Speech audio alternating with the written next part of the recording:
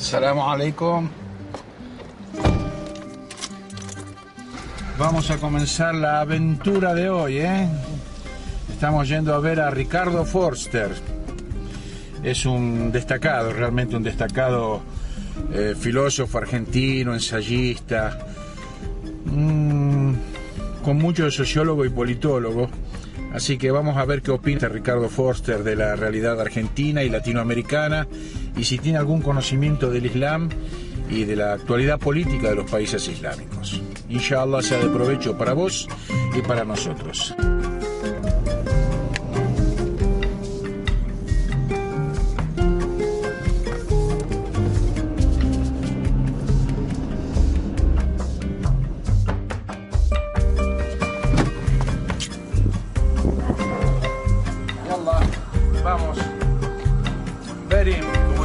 Persas.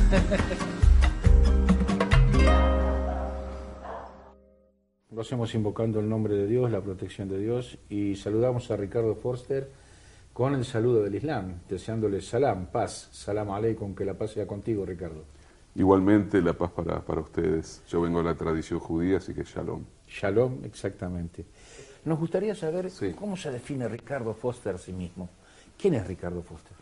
Qué pregunta difícil. Eh, una persona que, ama el lugar donde nació, que siente profundas raíces en esta tierra, que ama a su familia, a sus hijos, a su mujer, a sus padres, a sus hermanos, que hace un culto de la amistad, que creo tener convicciones que he defendido a lo largo de la vida, me siento muy involucrado en lo que es la necesidad de construir una sociedad más justa, más igualitaria, me siento muy arraigado en este continente latinoamericano, soy un cultor no de la tolerancia, justo esta semana publiqué un artículo que se llama Adversus Tolerancia, porque el concepto de tolerancia es simplemente soportar que el otro está, pero no me importa el otro, ¿no?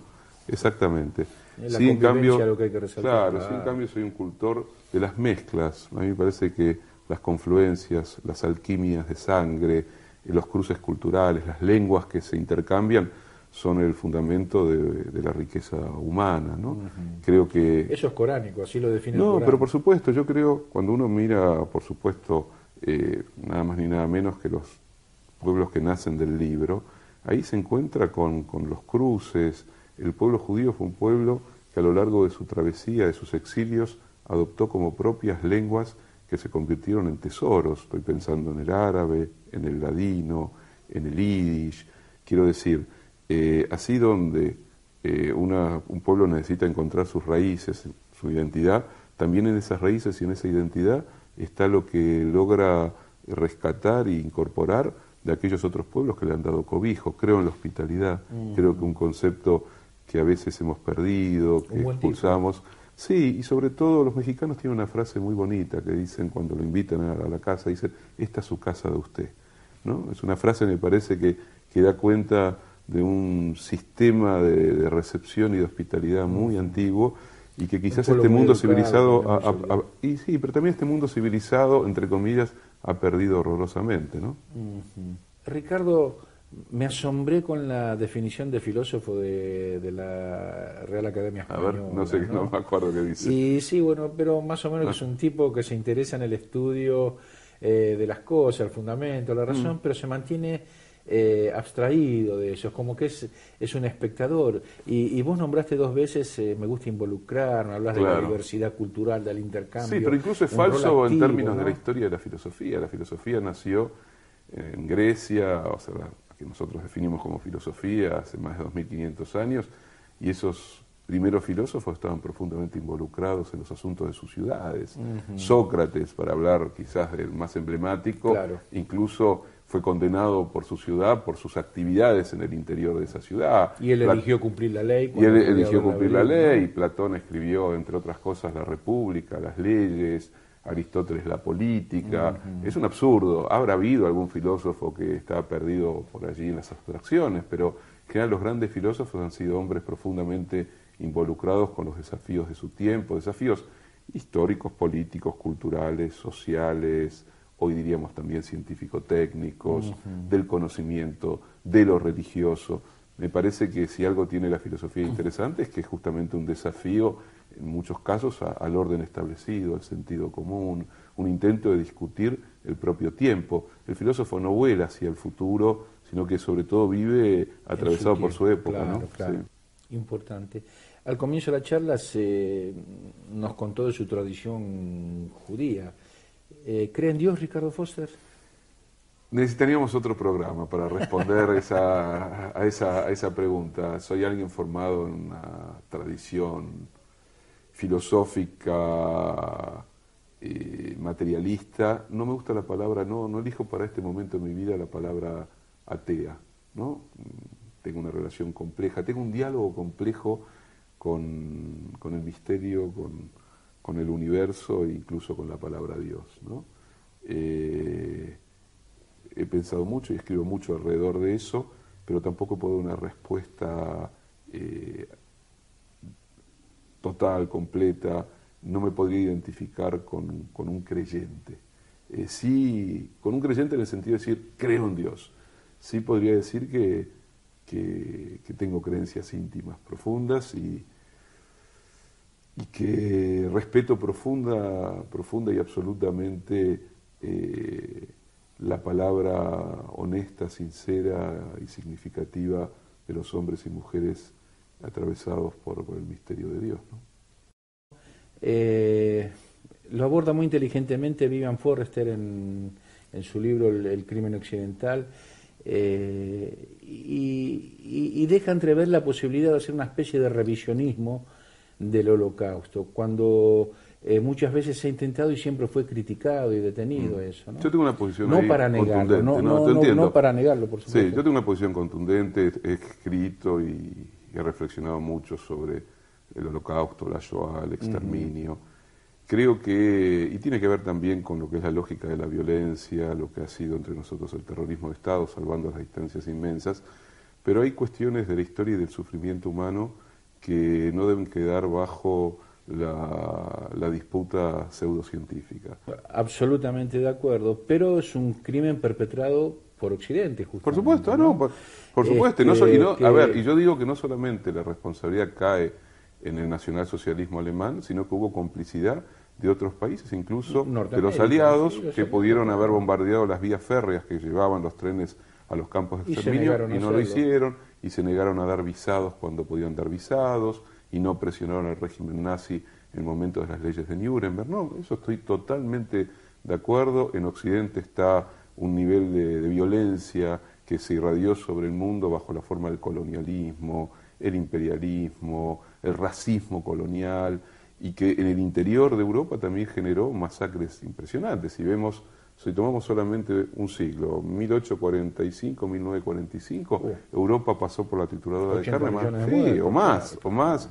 Y bueno, entonces creo que eso nos, nos exime de toda piedad en el sentido de imaginar que Europa siempre fue un techado de virtudes, etc. Hay una frase que es muy importante, algo decía Luther King con que si los buenos hicieran lo que tienen que hacer las cosas no sucederían, pero citando a Forrester justamente que estuve leyendo esta semana el libro, decía que eh, los pueblos consienten lo malo, dando lugar a la tragedia con mm. esa actitud, ¿no es cierto? Sí, a veces el concepto de pueblo es muy vago, porque dentro de toda sociedad también hay, oprimidos, hay opresores, hay excluidos, hay violentados, hay aquellos que no tienen derechos, aquellos que viven en un nivel de desigualdad muy grande. Por eso cuando uno habla de una nación o habla de un pueblo, tiene que tener mucho cuidado, porque yo no creo que toda la nación norteamericana se vea expresada en Bush, por ejemplo, de la misma manera que no creo que toda la historia y la nación alemana se vean expresadas en el nacionalsocialismo.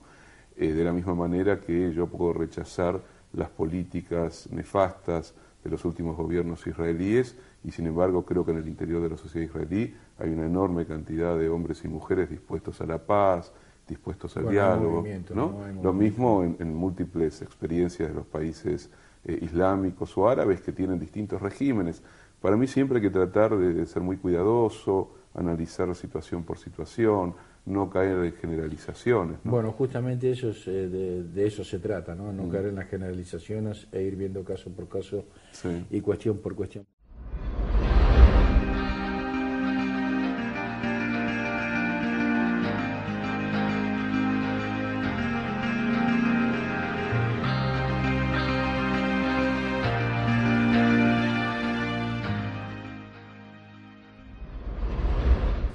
¿Cómo ve al Islam hoy en día? Bueno, a ver. Eh, antes que esa pregunta hay otra. Sí. Eh, ¿Conoció musulmanes argentinos? ¿Conoció algún representante religioso, un sheikh? ¿Alguna vez habló Conocí, no mucho. La verdad que es una deuda que tendría que tratar de saldar porque siempre me interesó muchísimo la cultura eh, musulmana. estudié en algún momento con bastante intensidad lo que charlábamos al principio, que era la cultura de, la España de los siglos X al siglo XV. Eh, me interesó mucho el mundo del despliegue del Islam desde el desierto arábigo hasta Persia. Me interesó mucho la filosofía islámica, desde Avicena a Berroes. Eh, me interesa la belleza poética del Islam, ciertos misticismos islámicos. Eh, me interesó su historia, me interesó sus distintos proyectos y procesos políticos eh, a lo largo del siglo XX, pero debería haberme dedicado un poquito más intensamente. ¿Lo ve como enemigo de Occidente? No, no, a ver, eh, voy a decir algo un poco más, quizás políticamente incorrecto. Para mí el, gran enemigo de este tiempo es eh, un capitalismo salido de madre, que es como una metástasis que se despliega de tal manera que está llevando a la humanidad a un fenómeno de destrucción, ¿no? Que no logra encontrar la forma de equilibrio entre el crecimiento y la sustentabilidad, que produce eh, exclusiones de millones y millones y millones de seres humanos a lo largo del planeta. No creo que sea la misma la, vida eh, de un musulmán en el Líbano, en Irán, en Indonesia, en Estados Unidos, en Argentina, cada uno tiene sus demandas, sus conflictos, no creo que tampoco... De hecho, se asimila al Islam a lo árabe y los árabes son apenas el 18%. Claro, por ejemplo, tampoco me parece que haya eh, un concepto político rector de la compleja trama del mundo eh, islámico. Sin embargo, el Islam ha producido una revolución muy interesante hacia el final del siglo XX, en, 1979, ¿no? la revolución islámica del Irán. ¿Qué lectura hace de eso? A ver, eh, yo creo que eh, cuando estalla un sistema de corrupción que era el sistema del Shah y cuando confluyen ahí adentro una cantidad de experiencias notables, eh, como en todo proceso de transformación, hay expectativas, hay distintas posiciones, hay también después contradicciones y tensiones. Yo quizás hubiera preferido, no sé si esa es la palabra, conozco poco eh, la intimidad de lo que está sucediendo en Irán como para poder decir por acá. Pero yo hubiera preferido quizás un, sistema político eh, más amplio respecto a la relación entre los creyentes y los no creyentes. Eh, es Sin embargo, es una república, se llega Sí, es una república, se llega por elecciones y evidentemente quienes gobiernan reciben el, el, voto popular.